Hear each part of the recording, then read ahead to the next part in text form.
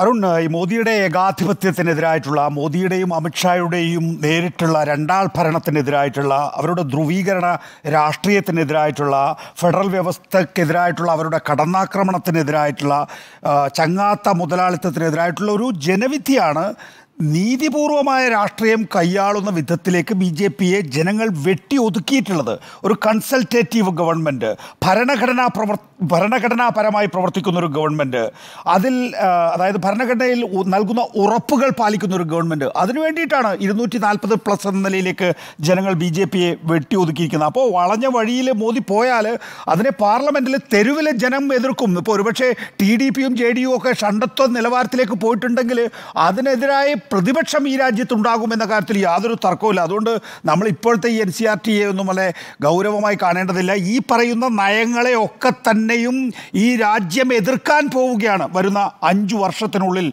അഞ്ചു വർഷം എന്ന കാര്യത്തിൽ യാതൊരു തർക്കവുമില്ല. ഏതായാലും നമ്മൾ അറിയേണ്ട ഏറ്റവും പ്രധാനപ്പെട്ട കാര്യം എന്ന് പറയുന്നത് ഇത് മൂന്നാം നരേന്ദ്രമോദി സർക്കാരല്ല. ഇത് എൻ ഡി എ സർക്കാരാണ്. നരേന്ദ്രമോദിയുടെ നേതൃത്വത്തിലുള്ള എൻ ഡി എ സർക്കാരാണ്.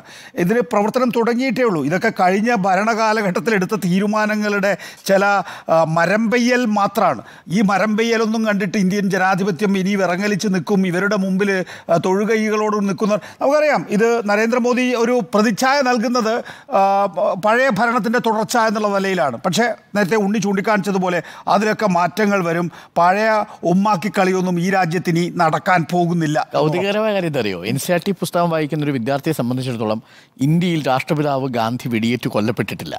വെടിയേറ്റ് കൊല്ലപ്പെട്ടതിന് ശേഷം ഇന്ത്യയിൽ ആർ എസ് എസ് പോലൊരു സംഘടന നിരോധിച്ചിട്ടില്ല.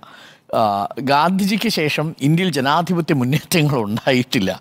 ഇതൊന്നും എൻ സി ആർ ടി പാഠപുസ്തകത്തിൽ സാമൂഹ്യശാസ്ത്രം പഠിക്കുന്ന വിദ്യാർത്ഥി പഠിക്കുന്നില്ലെന്നേ. അതാണ് ഇതിൽ ഏറ്റവും കൗതുകകരമായ സംസ്ഥാനങ്ങളായി അഞ്ചു കോടി കുട്ടികൾ പഠിക്കുന്നു പഠിക്കുന്നുണ്ട്. ഇതിൽ എനിക്കൊന്നും ഈ ശാഖയിൽ പോകാതെ നിങ്ങൾക്ക് എങ്ങനെ സംഖ്യയാകാം എന്ന ചോദ്യത്തിന് ഉത്തരം എൻ സി ആർ ടി പാഠപുസ്തകം പഠിച്ചാൽ മതി. നിങ്ങൾക്കിപ്പോൾ സംഖ്യയാവാൻ വേറെ ഒരു വഴിയും വേണ്ട. ആ വഴിയിലേക്കാണ് പക്ഷേ നേരത്തെ നമ്മളൊക്കെ പ്രതീക്ഷിക്കുന്നത് പോലെ ഈ കൂട്ടുകക്ഷി ഭരണം അതിനുള്ള ശക്തമായ പ്രതിരോധം പാർലമെന്റിൽ തീർക്കുമെന്നും നമുക്ക് പ്രതീക്ഷിക്കാം.